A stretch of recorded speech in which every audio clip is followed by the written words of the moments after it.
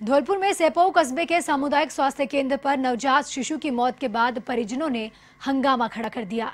मृतक के परिजनों ने चिकित्सा कर्मियों पर रिश्वत और साथ ही लापरवाही बरतने का गंभीर आरोप लगाया।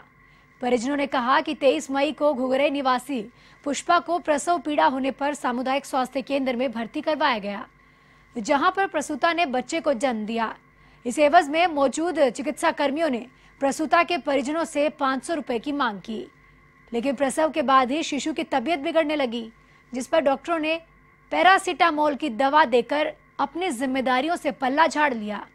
जिसके बाद शिशु को जिला अस्पताल और उसके बाद जयपुर ले जाया गया, जहाँ शिशु की मौत हो गई।